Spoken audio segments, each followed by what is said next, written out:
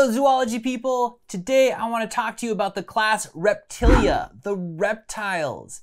So the reptiles have a huge advantage over the amphibians.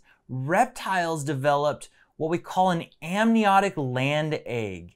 And so reptiles were freed from water, where amphibians needed to find water to reproduce. The reptiles don't have that problem. With the development of the amniotic land egg, the egg is self-contained with its own moisture and water inside.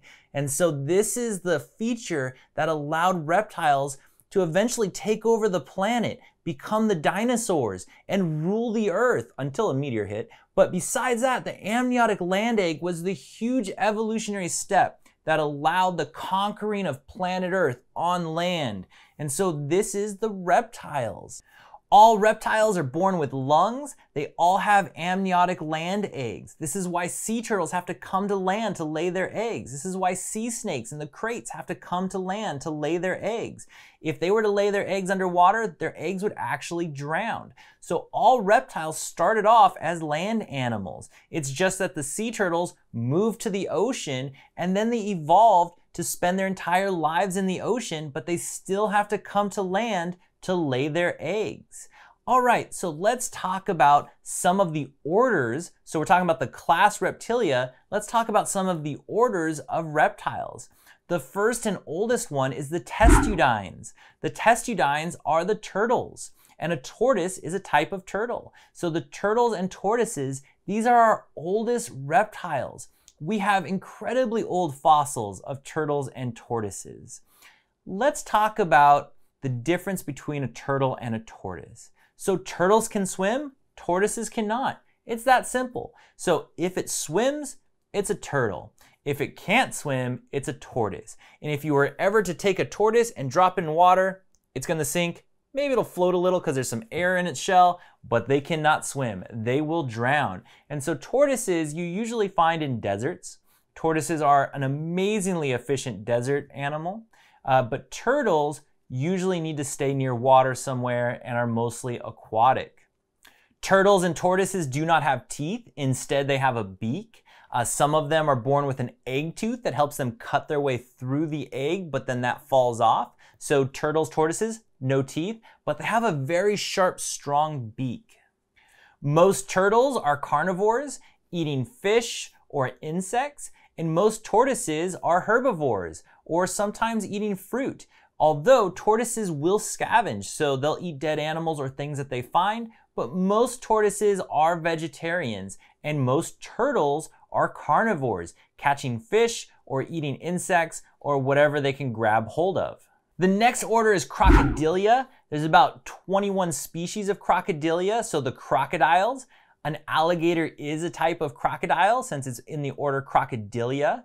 And so these guys are, as you know, quite large, but we do have some small ones. Uh, alligators are from the United States and there's a species from China, but otherwise, Crocodiles are all over the world. We have some in South America, we have some in Africa, and we have some in India. The crocodiles are a very successful animal. These guys were here before the dinosaurs, they survived the meteor, and they are still here. The next order of reptile I want to talk about are the squamates, squamata. These are the lizards and the snakes. Yeah, lizards and snakes are put in the same order although they're broken into their own suborders. So the first one we'll talk about is the lizards. These are in the suborder Sauria. So Sauria are the lizards. There's about 4,500 different species of lizards. The textbooks usually say that there are two venomous species of lizards, but in reality there are three. There's the Gila monster and the beaded lizard. Those are both venomous lizards, but it has been shown that Komodo dragons do have a mild venom, so technically they should be considered one of the venomous lizards. So technically there's three venomous lizards. So I want to talk about a few groups of lizards and what puts them in that group. The first group of lizard I want to talk about are the monitors. So monitor lizards use their tongue to smell their environment. They have a Jacobson gland on the roof of their mouth, just like snakes do. They have a forked tongue, so they flick their tongue, and this helps them sense their environment.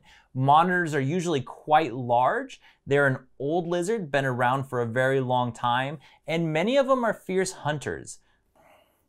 This is Salvador, the red tegu. He's from Argentina, which counts as the New World. So technically, he does not count as a monitor lizard because all the monitors are from the Old World, Africa or India and Asia.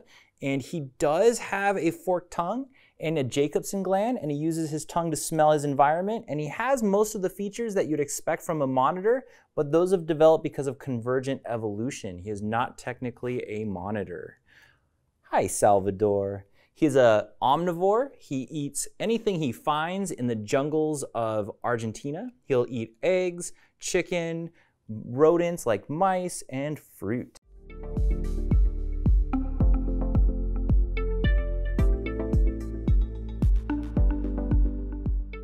The next group I want to talk about are the geckos. The geckos are a soft-bodied lizard. There are two types of geckos. There's the ones with eyelids and the ones without eyelids. A lot of times people will call the ones without eyelids true geckos. So remember, geckos are a soft-bodied lizard. They don't have eyelids. Their tail, if you were to pull on it, would be removed. And they have the sticky pads for climbing on their hands. So the way geckos stick is not actually because of like suction or anything like that. The way that they stick is something called van der Waals forces. What it is is on each of their toes is little tiny hairs, and each of those hairs has little tiny hairs, and each of those hairs has little tiny hairs, and each of those hairs have little tiny hairs, all the way down until the hairs are so tiny that they're actually connecting with the atoms and molecules of the surface that they're climbing.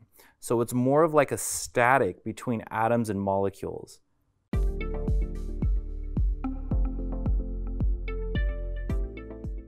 Next, I want to talk about the iguanas. They're a large lizard that is a herbivore. They eat mainly fruits and vegetables, which is rare because most lizards are carnivores.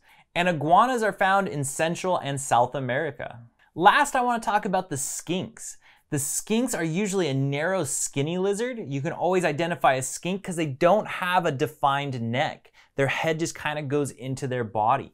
Most skinks have a pointy, sharp face that helps them dig into sand. They have really short little limbs that help them move around really quickly in rocks and in dirt. Next, I want to talk about the suborder Serpentes. These are the snakes. There's close to about 3,000 different species of snakes. They have no legs, no limbs, they have no eyelids, and they smell with their tongue using a Jacobson gland. And so let's talk about some groups of snakes. First, I want to start with the pythons and the boas. Our pythons and boas are our oldest extant snakes. These guys are very prehistoric. We have a ball python here and a boa constrictor here. One of the main differences between pythons and boas is that boas give live birth and pythons lay eggs. All pythons have heat vents along their jaw that help them sense heat so they can sense their prey by its heat. There is a boa that has heat vents. The tree boas do have these heat vents, but it's primarily a python feature. The pythons and boas are both constrictors, meaning that they strike, bite their prey, and then they wrap around squeezing and crushing their prey. They usually, usually asphyxiate their prey, so they crush it so it can't breathe until it dies, and then they will have to swallow their prey whole. So all snakes have to swallow their prey whole. They do not chew. They, their jaw is in three pieces, so they'll dislocate their jaw in order to help them swallow whole. The reason that they eat this way is, well, they don't have hands to really help them with this process. It's also an efficient way to eat very large prey. Now, there's always a debate between which is larger, pythons or boas, and there's two species that are always competing for this title. The anaconda is a type of boa and the anaconda is one of our largest snakes. And then the reticulated python, which is a python, is our other largest snake. And so there's been all kinds of reports about anacondas and reticulated pythons reaching over 30 feet. So which one is the largest? It just depends. There could be a reticulated python larger than an anaconda, and there could be an anaconda larger than a reticulated python. Both of those are our longest snakes. Our heaviest snake is the Burmese python.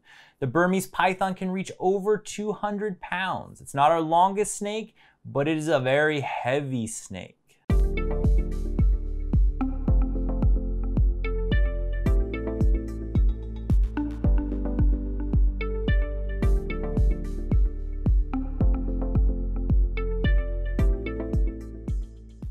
There are lots of venomous snakes like rattlesnakes and cobras and coral snakes and mambas and all kinds of venomous snakes, but the boas and pythons do not have any venom. They're not a venomous snake. Next, I want to talk about the order Sphenodontida. These are the tuataras. They look a lot like a lizard, but they're in their own order. What really sets them apart is their teeth. They have two rows of teeth on the top and one on the bottom. So their bottom row of teeth goes between the top two and they can kind of saw their prey when they eat it or saw their food. And so these are the tuataras. They're a very prehistoric reptile that looks a lot like a lizard. The tuataras, they're the last ones in their group. Okay, well, this was an introduction to reptiles. I hope you enjoyed it, and I will see you next time.